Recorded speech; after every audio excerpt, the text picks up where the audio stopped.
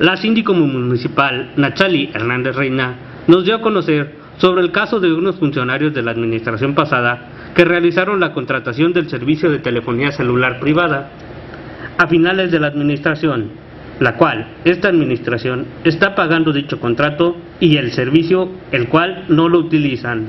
Bueno, es que aquí el, el, el señor este se hicieron unos, unos contratos de, de telefonía celular y este hicieron mal uso de ellos, nos, nos, bueno, mejor dicho, este, comprometieron el patrimonio de la actual administración. Entonces se le dio seguimiento y tuvimos que hacer un arreglo nosotros. Se hicieron las contrataciones que ya tenían, sí, pero hagan cuenta que la hicieron ya casi a salir su administración y ahí fue el problema, que comprometieron el patrimonio del actual. ¿Por qué? Porque hicieron la contratación desde pues finales ya de su administración como en septiembre y el plazo forzoso termina hasta este año. Pues en eso estamos, tenemos la denuncia correspondiente. Pero pero les les haremos la notificación.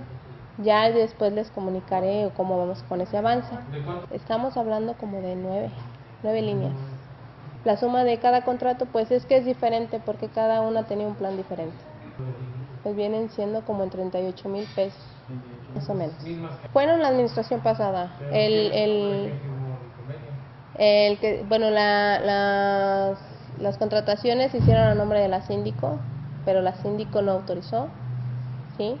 Y fue este el contador quien era el contacto.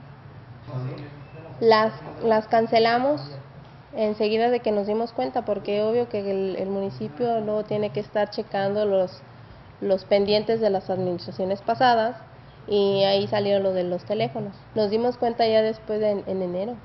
Perdón, era por un año. Una por los contratos y dos porque nos llegaron requerimientos de pago.